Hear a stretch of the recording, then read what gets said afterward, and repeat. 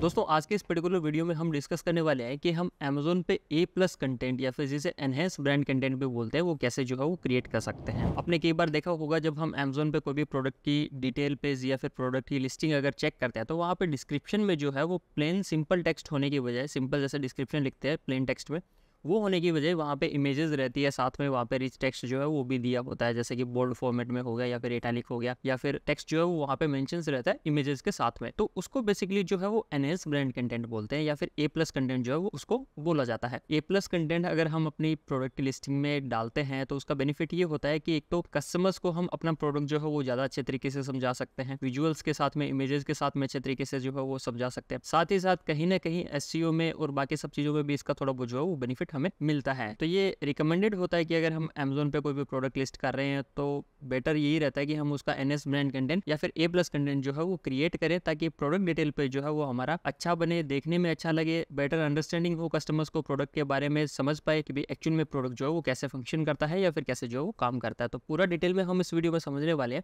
कि ए plus content जो है वो हम कैसे क्रिएट कर सकते हैं। तो यहाँ पे अगर हम देखेंगे ना तो ये देखिए एक प्रोडक्ट है जो अमेजोन पे लिस्ट हो रखा है। अगर हम उसकी डिस्क्रिप्शन यहाँ पे जाके चेक करेंगे तो यहाँ पे देखिए प्रोडक्ट डिस्क्रिप्शन में है ना इमेजेस जो है वो ऐड करके रखी हुई है। साथ में यहाँ पे देखिए कुछ टेक्स्ट है, जो कि रिच टेक्स्ट है, और यहाँ पे कुछ जो है वो अलग अलग प्रोडक्ट्स का कंपेरिजन भी करके रखा हुआ है। तो इस तरीके से जो है वो ए प्लस कंटेंट दिखता है। अब जानते हैं कि ए प्लस कंटेंट जो है वो हम अपने प्रोडक्ट के लिए कैसे क्रिएट कर सकते हैं। तो इसके लिए देखिए, हम सिंपली जाते हैं अपने अमेजोन के सेलर सेंटर में। सेलर सेंटर में यहाँ पे मेन्यू वाले ऑप्शन में हमें एडवर्टाइजिंग में ऑप्शन मिलता है। ए प्लस कंटेंट मैनेजर का। ए प्लस कंटेंट मैनेजर में अगर हम यहाँ पे जाएँगे तो ये देखिए यहाँ पे साइड में हमें ऑप्शन मिलता है स्टार्टिंग ए प्लस कंटेंट यहाँ पे हमें वो कंटेंट दिखाता है जो हमने ऑलरेडी अगर कोई रिक्वेस्ट करके रखा हुआ या बना के रखा हुआ तो वो दिखाता है। यहाँ पे करंट स्टेटस जो है उसका आता है, ठीक है? उसके बाद में साइड में हमें ऑप्शन मिलता है start creating A plus content इसके ऊपर हम सिंपली जो है वो क्लिक करेंगे। यहाँ पे क्लिक करने के बाद में देखिए दो ऑप्शन हमें मिल रहे एक तो है एनहेंस प्रोडक्ट डिस्क्रिप्शन का, उसके बाद में है एडिशनल कंटेंट टाइप में यहाँ पे आता है ब्रांड स्टोरी का। तो हम ब्रांड स्टोरी भी जो है वो बना सकता है। जैसे मान लीजिए हमारा रजिस्टर्ड ब्रांड है और हम ब्रांड की स्टोरी जो है वो प्रोडक्ट के डिस्क्रिप्शन में दिखाना चाहते हैं, जहाँ पे हमारा ब्रांड कैसे शुरू हुआ, उससे रिलेटेड कोई भी स्टोरी अगर हमारी है, जैसे मान लीजिए कहाँ से हमको आइडिया है कुछ भी ब्रांड की स्टोरी जो अगर हमारी रहती है, वो अगर हम यहाँ पे दिखाना चाहते हैं तो हम जो वो ब्रांड स्टोरी यहाँ पे बना सकते हैं। तो ब्रांड स्टोरी के लिए हम सिंपली जो है वो क्रिएट ब्रांड स्टोरी पे क्लिक करेंगे। अगर हमें एनएस प्रोडक्ट डिस्क्रिप्शन बनानी है तो हम जो क्रिएट बेसिक पे या फिर इस पे जो क्लिक करेंगे। अब देखिए ब्रांड स्टोरी और इसमें मॉड्यूल जो है वो सेम ही रहते हैं। ब्रांड स्टोरी का एक अलग से जो वो डिस्क्रिप्शन में हमें ऑप्शन मिल जाएगा ब्रांड स्टोरी का और वहाँ पे उसके अलावा हम ए प्लस कंटेंट भी जो वो ऐड कर सकते हैं। तो हम इसमें जो है वो सिंपली प्रोडक्ट के लिए ए प्लस कंटेंट क्रिएट करने जा रहे हैं तो हम क्रिएट बेसिक पे जो है वो क्लिक करेंगे। अब यहाँ पे देखिए, सबसे पहले हमें जो वो कंटेंट नेम डालना है तो जो भी हम कंटेंट का नेम देना चाहें, जो भी कंटेंट का नाम डालना चाहें हमारे, वो हम यहाँ पे डाल सकते हैं। जैसे कि हम जो स्लिंग बैग के लिए यहाँ पे कंटेंट क्रिएट करने जा रहे हैं तो हम यहाँ पे स्लिंग बैग डाल देते हैं। उसके बाद में यहाँ पे लैंग्वेज का ऑप्शन आता है तो लैंग्वेज हम सेलेक्ट कर सकते हैं। कंटेंट टाइप में ईबीसी हो गया। ईबीसी मतलब एनहेंस्ड ब्रांड कंटेंट स्टेटस अभी ड्राफ्ट में है ये। अप्लाइड ए का मतलब होता है कि कितने ए पे हम जो उसको अप्लाई करने जा रहे हैं। जैसे कि मान लीजिए बहुत सारे प्रोडक्ट ऐसे हैं जिनके ऊपर सेम कंटेंट जो है वो अप्लाई होने वाला है तो हम जो है यहाँ पे सबके ऊपर जो है वो ये अप्लाई कर देंगे। लास्ट एक्टिविटी डेट यहाँ पे दिखा रहा है, उसके बाद में यहाँ पे देखिए नीचे मॉड्यूल का ऑप्शन आ रहा है, यहाँ पे एडिटर है, यहाँ पे जो है वो प्रीव्यू है।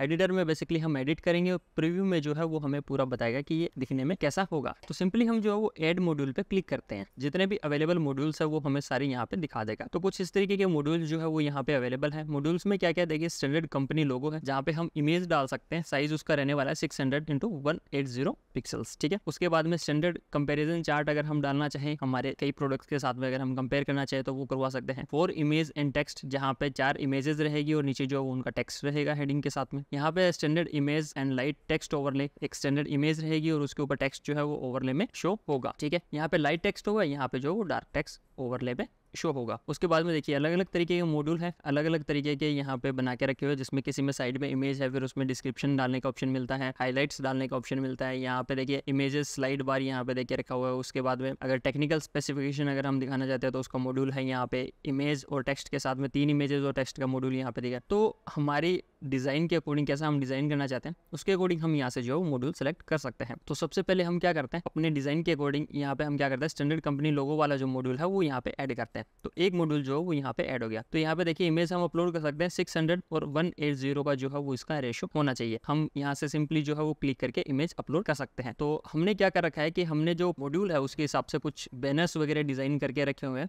बैनर्स डिज़ाइन करने के लिए हमने जो सॉफ्टवेयर यूज़ में लिया वो है कैनवा। तो कैनवा में क्या है, हम सिंपली बैनर्स वगैरह डिज़ाइन कर सकते हैं। तो यहाँ पे कैनवा में जो है वो हमने, जैसे एक मॉड्यूल, ये डिज़ाइन जो है वो हमने बना के रखा हुआ है। वैसे एक दूसरा डिज़ाइन भी हमने कैनवा में डिज़ाइन किया है, जो हम आगे इसमें ऐड करेंगे तो आपको ज़्यादा आइडिया आ जाएगा। तो ये बेसिकली ये हमने एक डिज़ाइन बनाया था। किसके हिसाब से? इस मॉड्यूल का जो भी रेशो है, उसके हिसाब से कैनवा में हमने डिज़ाइन बनाया। यहाँ पे इमेजेस एड की और फिर उसको जो है वो एक्सपोर्ट कर लिया पीएनजी में या जेपीजी में, जैसे भी हम ऐड करना चाहिए वैसे। तो हम सिंपली जो है वो अपलोड करने के लिए इसके ऊपर क्लिक करेंगे। यहाँ पे ऑप्शन आ गया। यहाँ से हम ड्रैग कर सकते हैं और यहाँ से जो है हम सेलेक्ट भी कर सकते हैं। अब देखिए, यहाँ पे पहले की अपनी जितने भी प्रोडक्ट्स की इमेजेस थी ना जो हमने अपलोड करके रखी हुई थी प्रीवियसली वो सारी यहाँ पे शो कर देता है, ठीक है? 224 असेट्स यहाँ पे ऑलरेडी अपलोड हो रखी है मतलब कि 224 इमेजेस जो है वो हमने ऑलरेडी अपलोड करके रखी हुई है। अगर हमें नहीं अपलोड करनी है तो हम जो यहाँ पे अपलोड इमेज पे क्लिक करके अपलोड जो है वो कर देंगे। अगर ऑलरेडी जो हमने अपलोड करके रखा उसमें से कुछ हमें यूज़ करना है तो हम जो सिंपली यहाँ से सेलेक्ट कर लेंगे। तो जैसे मान लीजिए हमको जो है ये वाली इमेज एड करनी है तो हम इसको जो सिंपली एड कर देंगे, ठीक है? उसके बाद में हमें यहाँ पे जो है वो इमेज के कीवर्ड्स डालने हैं। इमेज जो है वो किस चीज़ से रिलेटेड है, क्या इमेज में मोटा मोटी चीज़ें हैं, उससे रिलेटेड कोई भी कीवर्ड्स है तो हम यहाँ पे डाल सकते हैं। तो हम यहाँ पे डाल देते हैं स्लिंग शोल्डर बैग हो गया, ठीक है। उसके बाद में हम इसको ऐड कर देंगे। तो ये इमेज जो है वो हमने ऐड कर दी। उसके बाद में दूसरा मॉड्यूल जो है वो हम ऐड करते हैं।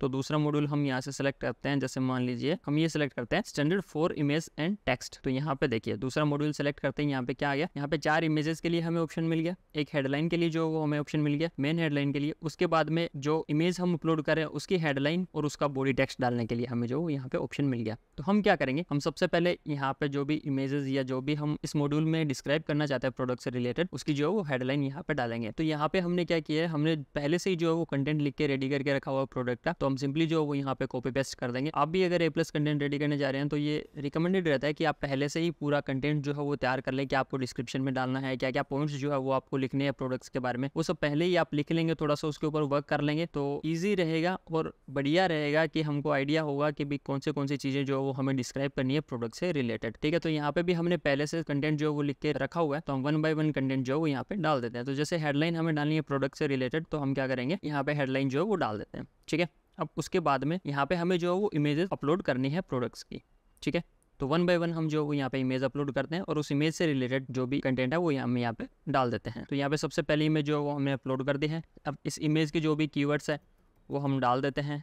ठीक है? उसके बाद में हम यहाँ पे हेडलाइन जो है वो इसके डाल देते हैं slick design on the go for fashion और यहाँ पे जो है वो हम बॉडी टेक्स्ट डाल देते हैं। ये सेकंड इमेज जो है वो हमने सेलेक्ट कर ली। यहाँ पे हम जो वो हेडलाइन इसकी डालते हैं तो हेडलाइन और टेक्स्ट जो है वो हमने यहाँ पे डाल दिया। फिर हम इसकी जो वो थर्ड इमेज सेलेक्ट करते हैं, इसके कीवर्ड्स जो है वो डाल देते हैं हम यहाँ पे। ठीक है, इसको एड करते हैं। उसके बाद में यहाँ पे हेडलाइन और बॉडी टेक्स्ट डाल देते हैं। उसके बाद में फोर्थ हेडलाइन हो गई और यहाँ पे बॉडी टेक्स्ट जो है वो हमने डाल दिया। तो हमने बेसिकली क्या किया था? ऊपर जो है वो एक स्टैंडर्ड कंपनी लोगों का जो बैनर है वो सिलेक्ट किया था। वहाँ पे हमने ये बैनर डाल दिया। उसके बाद में हमने यहाँ पे हेडलाइन डाल दी। हमने जो मॉड्यूल सेलेक्ट किया था वो है standard four text and images वाला। तो यहाँ पे हमने मेन हेडलाइन डाल दी। उसके बाद में जो भी इमेजेस हमने डाली है, जैसे जैसे प्रोडक्ट को डिस्क्राइब किया, वैसे वैसे उनकी हेडलाइंस हमने यहाँ पे डाल दी और उनका जो भी बॉडी टेक्स्ट है वो हमने यहाँ पे डाल दिया। बॉडी टेक्स्ट में भी अगर हम किसी चीज़ को हाईलाइट करना चाहे तो हम उसको बोल्ड या इटालिक अंडरलाइन जो भी करना चाहे वो कर सकते हैं। पॉइंट्स अगर बनाना चाहे तो वो भी हम जो इसमें बना सकते हैं।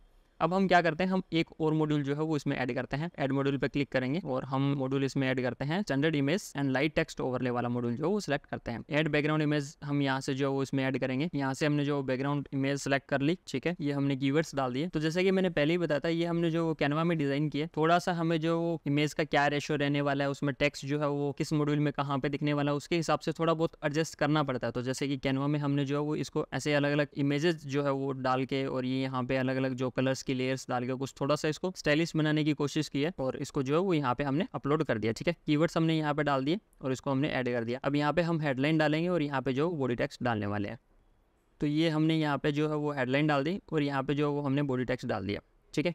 अब हम जाएँगे प्रीव्यू वाले ऑप्शन पे कि हमने जो कंटेंट बनाया वो बेसिकली दिखता कैसे है। उसके बाद में अगर हमें कुछ मॉडिफाई करना हुआ, क्योंकि अगर हमें लगा कि ये सही नहीं दिख रहा है या कुछ सही नहीं लग रहा तो हम इसको जो चेंज कर सकते हैं। तो प्रीव्यू पे क्लिक करेंगे। तो यहाँ पे देखिए कुछ इस तरीके से जो है, वो हमारा ए प्लस कंटेंट हमारी प्रोडक्ट की डिस्क्रिप्शन में हमें शो होगा। तो ऊपर ये बैनर आ गया, उसके बाद में चार ये इमेजेस आ गई। इमेजेस से रिलेटेड जो भी डिस्क्रिप्शन हमने डाली थी, वो यहाँ पे आ गई, ठीक है? उसके बाद में ये मेन हेडिंग्स आ गई और उसके बाद में ये फाइनल इमेज हमने डाली थी इमेज ओवरले के साथ में। तो ये जो बेसिकली हमने कलर्स डाले थे, यहाँ पे इसलिए डाले थे कि जब इसके ऊपर टेक्स्ट आए तो ओवरलैपिंग ना हो टेक्स्ट भी जो है वो इजीली पढ़ने में और थोड़ा सा अच्छा भी जो है वो लगे, ठीक है? तो कुछ इस तरीके से हमारा ए प्लस कंटेंट जो है वो शो होगा। अगर हमें इसमें कुछ भी चेंज करना है तो वापस हम एडिटर में आएँगे और यहाँ से अगर किसी मॉड्यूल को हटाना है या एड करना है तो हम सिंपली यहाँ से कर सकते हैं। मॉड्यूल को ऊपर नीचे भी कर सकते हैं। अगर हम यहाँ पे क्लिक करेंगे तो ये मॉड्यूल जो नीचे चला जाएगा। अगर यहाँ पे क्लिक करेंगे तो मॉड्यूल जो ऊपर आ जाएगा। तो हम इसको अपने हिसाब से भी जो अरेंज कर सकते हैं। और भी अगर मॉड्यूल ऐड करना है तो यहाँ से हम जो वन बाय वन कर सकते हैं। अब हमारा ये लगभग मुझे लग रहा है कि फाइनल है। अब हम इसको क्या करते हैं? नेक्स्ट ऑप्शन आता है अप्लाई टू ए साइन हम इसको सेव भी कर सकते हैं। एक बार हम आधा काम करके छोड़ भी सकते हैं जब हमें लगता है कि बाद में कुछ चीज़ें और एड करनी है, इसके अंदर इमेजेस वगैरह जो कि एडिटिंग होनी बाकी है तो हम इसको एक बार ड्राफ्ट में सेव कर सकते हैं। या अगर हमारा कंटेंट लिखना बाकी है कुछ तो हम इसको ड्राफ्ट में सेव कर सकते हैं। या फिर हमें एक बार सही नहीं लग रहा, हमको लग रहा है कि कुछ और चेंज करेंगे, कुछ आइडियाज़ आएँगे उसके हिसाब से तो भी हम जो उसको ड्राफ्ट में सेव कर सकते हैं। बाद में हम जो उसको एडिट कर सकते हैं। तो हम क्या करेंगे? नेक्स्ट अप्लाई टू ए वाले ऑप्शन पर क्लिक करेंगे।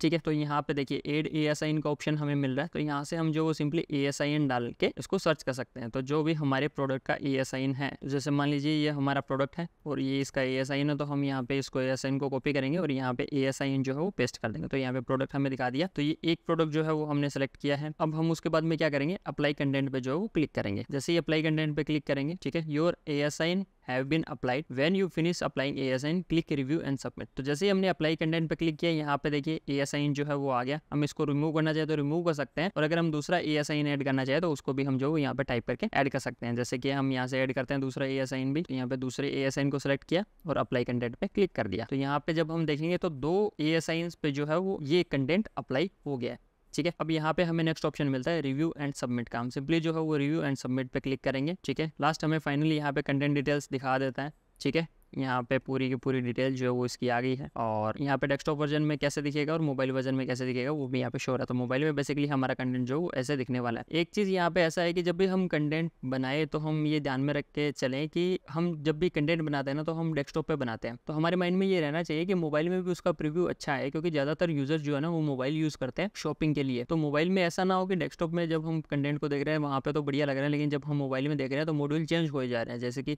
डेस्कटॉप में यहाँ पे चारों साथ में दिखा रहे हैं ब्लॉक्स इस मॉड्यूल के। लेकिन अगर हम मोबाइल वर्जन में जाएँगे तो यहाँ पे देखिए ब्लॉक्स वन बाय वन जो है वो यहाँ पे शो कर रहा है। तो इस चीज़ का आप ध्यान रखें कि मोबाइल वर्जन और डेस्कटॉप वर्जन दोनों में जो है वो कंटेंट हमारा देखने में अच्छा लगे, ठीक है? उसके बाद में हमें यहाँ पे ऑप्शन मिलता है सबमिट फॉर अप्रूवल का। हम सिंपली जो इसको सबमिट कर देंगे, ठीक है? सबमिट फॉर अप्रूवल पे यहाँ पे क्लिक कर देंगे, ठीक है? Your content was successfully submitted for approval please remember to update your catalogue content if change ठीक है? तो हमारा जो कैटलॉग है वो सबमिट हो गया है। उसके बाद में ए प्लस कंटेंट मैनेजर में जाएँगे। तो यहाँ पे देखिए हमें शो कर देगा कंटेंट नाम कंटेंट टाइप लैंग्वेज और कितने ए पे हमने अप्लाई किया है।